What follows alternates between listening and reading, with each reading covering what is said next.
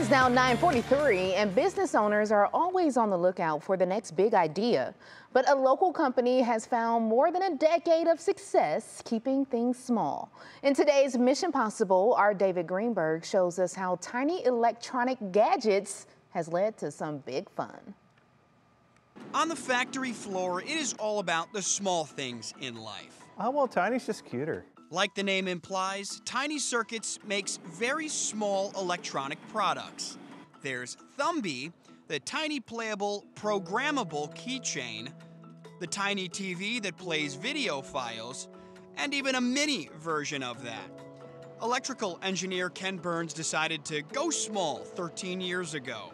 The response on Kickstarter to his first product convinced Burns to quit his job at the time. First project was called the Tiny Duino, which was uh, basically a small little electro, uh, modular electronic system.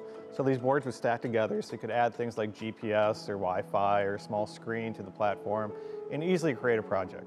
Tiny Circuits continues to roll out new products through Kickstarter. Most recent, the Thumby Color with a color display.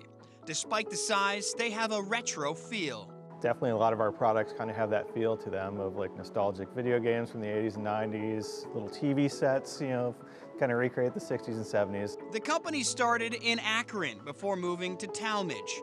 Today it employs 10 people who are all serious about making fun, tiny gadgets rolling out an average of 500 products a day. Circuit boards are made by machine, but several steps are done by hand. November and December are really big times for us, and so we're seeing sales start to ramp up, and we're building a lot of a lot of inventory to, you know, be able to keep in stock for the holiday rush.